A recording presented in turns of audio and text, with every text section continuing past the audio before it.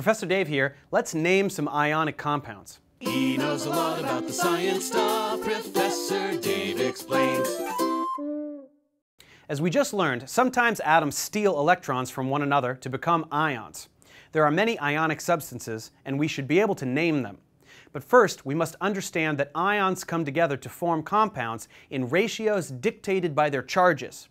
Positively charged ions, or cations, will bind with negatively charged ions, or anions, to form neutral compounds by whatever combination necessary. We can know the most common ion an element will form by looking at where it is on the periodic table. If an atom is in group 1, it needs to lose one electron to attain noble gas electron configuration.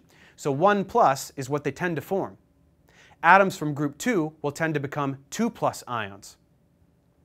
Looking at the other side, elements in the group called halogens need to gain one electron to attain noble gas electron configuration. So they will tend to become 1 minus ions. These will become 2 minus, these 3 minus, and so forth.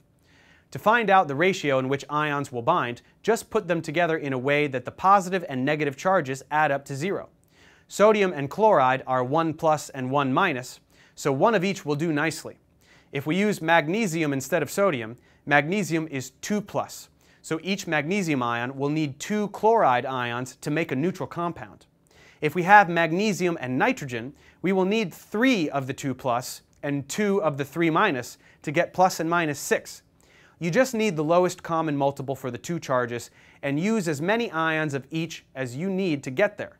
When we write out ionic compounds, we always list the cation first and then the anion. Usually the cation is just referred to by the name of the element, but the anion, if it's monoatomic, will have the suffix "-ide. That makes this sodium chloride. Some metals can have different common charges, or oxidation states. Copper can be 1 plus or 2 plus, and we represent that with Roman numerals in parentheses. Copper 1 means that it is a 1 plus ion, and copper 2 means 2 plus. If there is an element with two common oxidation states, the lower one bears the suffix ous and the higher will be ic. So a copper 1 ion is a cuprous ion and copper 2 is a cupric ion.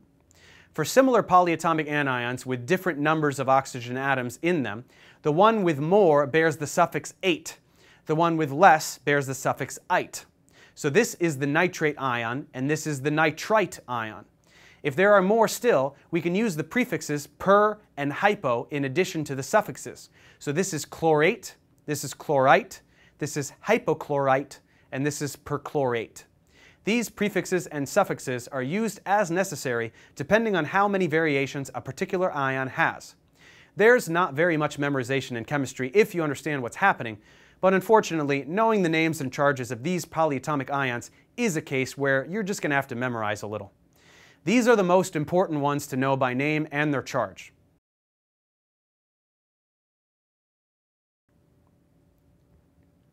Putting it together, if there's an ionic compound you want to name, just list the cation and anion by name, inserting prefixes and suffixes if necessary, like magnesium chloride.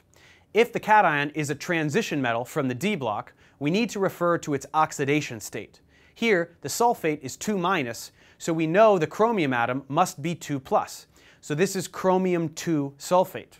We can also go from a name to a formula unit. If we have the name iron 2 phosphate, we know that we have iron atoms that are 2 plus and phosphates that are 3 minus. So we will need 3 irons and 2 phosphates to make a neutral compound. The oxidation state of the iron atom is implied by the ratio in the formula unit, but it is not implied in the written name. That's why we specify with the Roman numeral. If we are looking not at ions but at binary covalent compounds, which contain only two elements, we use a different set of prefixes to say how many atoms of each element there are. We can have carbon monoxide, or carbon dioxide, or something like tetraphosphorus trisulfide. These prefixes are not necessary when there is only one possible combination between two elements, so it's just magnesium chloride, not magnesium dichloride. Let's check comprehension.